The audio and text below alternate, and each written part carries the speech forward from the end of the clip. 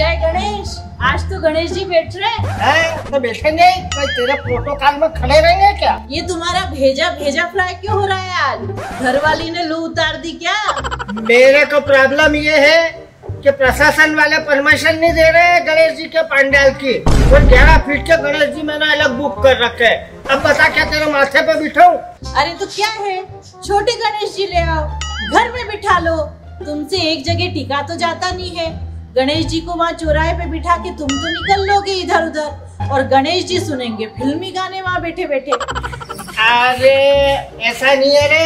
हर साल तो बिठाते थे गणेश जी वहाँ पे पंडाल लगा के धूमधाम से खूब लड्डू बांटे। अब अब की बार कह रहे हैं कि भीड़ इकट्ठा मत करो ले लो। अरे तो बैठा दो। गणेश जी में श्रद्धा है तो गणेश जी बेड़ा पार लगाएँगे तुम्हारा। अरे मैं तो बिठा दूँ। पर वो कल्लू कह रहा है कि दादा इतना बड़ा बिठाओगे पुलिस वाले तुमको बिठा देंगे। अब तुम ही बताओ क्या करूँ मैं? अरे बुद्धू प्रशासन वाले मना नहीं कर रहे हैं। Oh, no. ये कह रहे हैं कि छोटे पंडाल में बिठाओ और भीड़ इकट्ठा मत करो। अरे हाँ हाँ अकलमंद ये तो मेरे को भी मालूम है। पर जब लोग ही नहीं आए फिर क्या का उत्सव? इस कारण तो भेड़िया बंद हो गया मेरा। और क्या? अरे उत्सव तो मन से मनता है मन से। मूर्ति नहीं श्रद्धा बड़ी होनी चाहिए समझे? तेरा ज्ञान तेरे पास रख।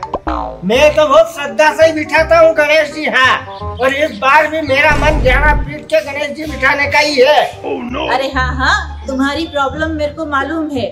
तुम एक काम करो तुमने जो चंदा उगाया है ना वो सबको वापस कर दो। और गणेश जी की पूजा भावना करो दस दिन पूरे मन से।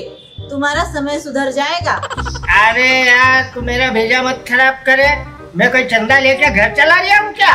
हैं? जेब के पैसे लगा के कर दिया हूँ वही समझ में? और मैं दस दिन में तीन सौ पैंसठ दिन गणेश जी पूछता हूँ हाँ। अरे मैं ये नहीं कह रही हूँ पर अब पंडाल नहीं लगेगा तो गणेश जी का चंदा देने वाले माथे तो आएँगे ना। अरे अपने माथे कोई नहीं आना है रे। और एक बात बता तू गणेश जी भी बैठेंगे और लड्डू भी बैठेंगे देसी घी के हाँ। अरे जाओ जाओ। तुम पहले भी मेरे से देसी घी के लड्डू के पैसे ले गए थे और डालडा के बांटे थे। तू फोकर अफवाह फैला के बदनाम मत करे रे।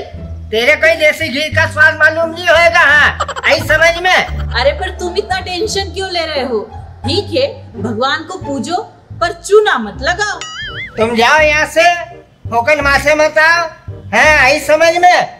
देसी घी के ही लड्डू बटेंगे, अब तो हाँ। चाहे जेब के पैसे लग जाए, चंदा हो चाहे नहीं हो, जाए यहाँ से।